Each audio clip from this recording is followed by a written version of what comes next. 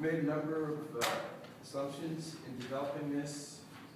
We don't have our, our final grant numbers or final data on grants. So We've assumed that that level of support will continue, that uh, at least, at least have 1.5 million uh, supported by grants.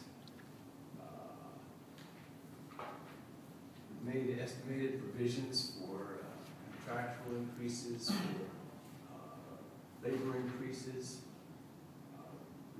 Budgeted health insurance uh, at a higher number, what we were trending about a year ago. We are expecting that to come down.